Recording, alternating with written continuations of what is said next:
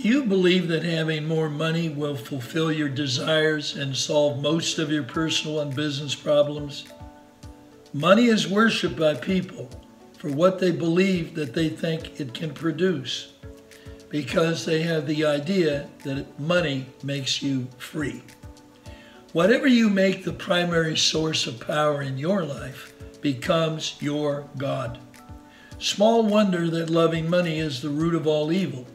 It violates God's first commandment of having no other gods before Him.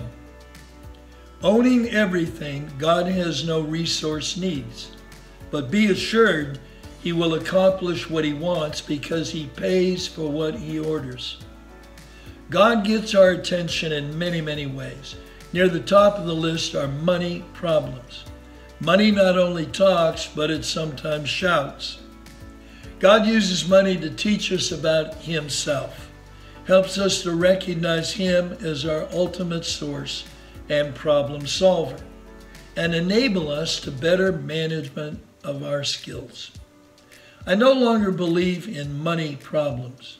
I do believe we can have problems with money, but since I began to realize how God uses money in our lives, it totally changed my perspectives. When money appears to be the issue, I remember that God literally has all the resources available to him he wants.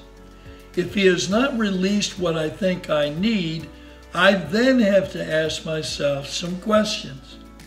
Is God drawing to attention a moral sin in my life? Are greed or materialism my motivation? Are my projects and goals in His will and His timing? Is God trying to protect me from something like success prematurely? Am I in danger of utilizing unbiblical means or partnering with unethical people to accomplish my goals? Am I trying to control things through money rather than put my place and trust in God?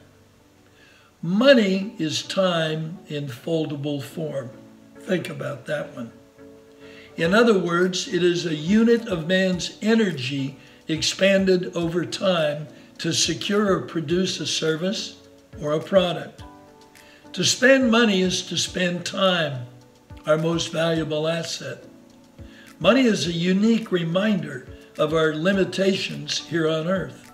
When we spend money, we're making choices about how we want to use the work units that produced that money. It represents struggles, pressures, time away from family, days closer to death, and so forth.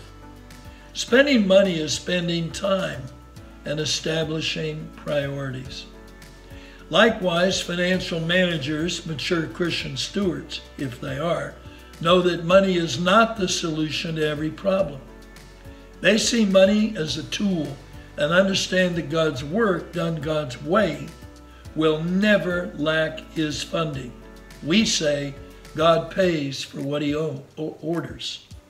Hence, the steward can respect and use money, but he'll never love it or see it as an end in itself. He will not willingly sell his future and freedom for it, like the incessant borrower who becomes the leader's slave, nor avoid it altogether out of fear, like the wicked, lazy, unprofitable servants in the parables of the talents and the minas. See Matthew 25, 24 to 30, and Luke 19, 20 to 27. Similar to the wise servants of these parables, Christian stewards invest money wisely to produce a profit for almighty and sons and daughters. God wants to empower people with his goals and skills. He wants us to use our wealth to promote this.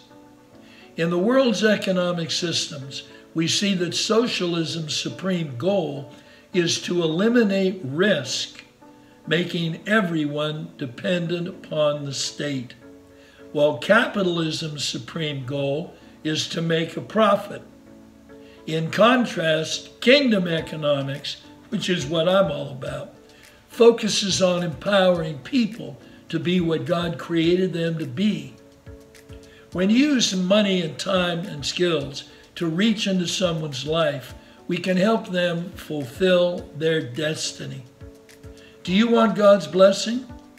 Let Him show you that He pays for what He orders, mostly by creatively leveraging resources in you or those around you through hard work, sacrifice, and a servant heart that is about seeing others grow and mature.